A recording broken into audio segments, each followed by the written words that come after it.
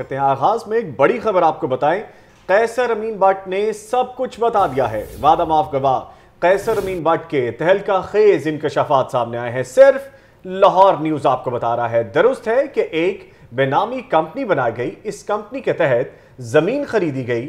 ندیم زیاء نے سال بعد بتایا، ہم نے پیراگون بنانے کے لیے زمین خریدی ہے۔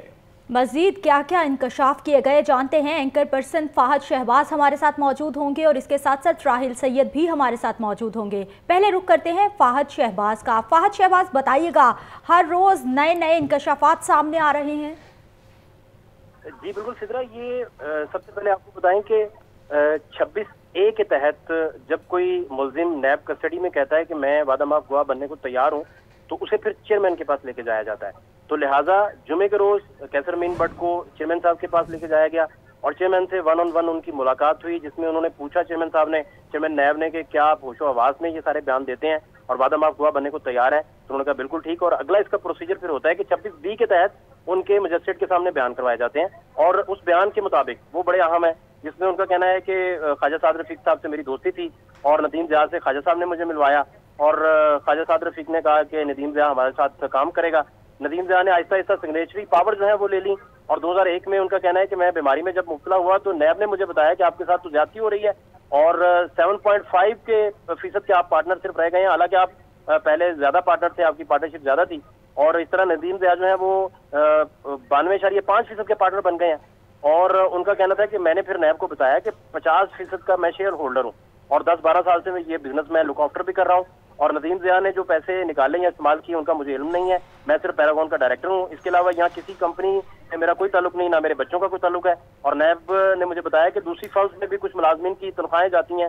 اور میں نے چیک کیا تو کچھ سیلریز واقعی جا رہی تھی لیکن انہوں نے کہا کہ مجھے اس بات کا علم نہیں ہے کہ ندیم ضیاء کس کو پیسے دیتا تھا اور کس سے لیتا تھا۔ میں صرف پیراگون کا ڈائریکٹر تھا۔ اور یہ بات بھی درست ہے کہ ایک بے نامی کمپنی بنائی گئی اور اس کمپنی کے تحت زمین خریدی گئی۔ اور زمین کتنے میں بکی مجھے کچھ پتہ نہیں ہے۔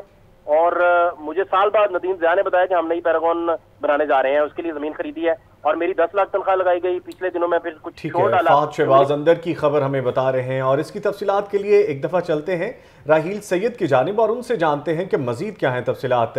راہیل سید بتائیے گا۔ اچھا، جی نظامی، یہ جس طرح فاسم نے بتایا کہ صورتحال جو کیسے مل پڑنے جو انکشافات کیا یہ میں آپ کو تو یہ دو مہینے پہلے بھی جب نیب کے تحقیقاتی ٹیم کے سامنے پیش ہوئے تھے، جب نیب نے بلایا تھا، تو یہ اپنا نیب کے سامنے یہ سب کچھ کہہ کے بھی گئے تھے کہ جو جو تفصیلات اب انہوں نے اپنے وعدہ ماہ گواہ بننے میں دیے ہیں کہ جو خواجہ سعد رفیق انہوں نے ان کے ساتھ جو ہے زیادتی کی ہے ندیم ضیاء جو ہے فرنٹ بینک کے طور پر کام کر رہے اور جس طرح فان نے بتایا ہے کہ جو تنخواہ جو ہے دس لاکھ لگائی تھی، ابھی ان کے بیٹے کو بھی پانچ لاکھ روپے میں ملازم رکھا ہوا ہے۔ ان کا کہنا یہ تھا کہ میں تو میرے تو شیئر ہی بہت کم رہ گئے ہیں اور صرف ninety two point five percent پہ جو ہے ندیم زیر جو ہے پارٹنر ہے۔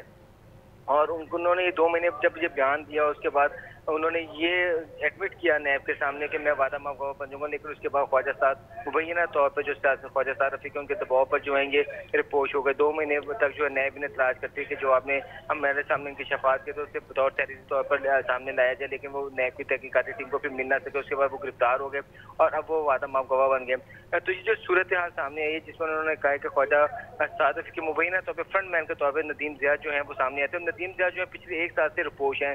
تین دفعہ نیب جو ہے ان کا اخبار میں اشتہار دے چکی ہے کہ یہ ہمیں مطلوب ہے ان کی گرفتاری کرنی ہے اور جس کو بھی اگر یہ ملے ان کی اطلاع ملے تو وہ نیب کو بتائے۔ لیکن ابھی تک ندیم ضیاء کو جو ہے نیب گرفتار نہیں کر سکتا ٹھیک ہے ندیم ضیاء کو بھی ابھی تک گرفتار نہیں کیا جا سکا۔ بار بار اشتہارات بھی دیے گئے ہیں نیب کی جانب سے لیکن گرفتاری ممکن نہیں ہوئی۔ شکریہ راہیل سید اور آپ کے ساتھ ساتھ فہد شہباز ہمارے ساتھ موجود تھے۔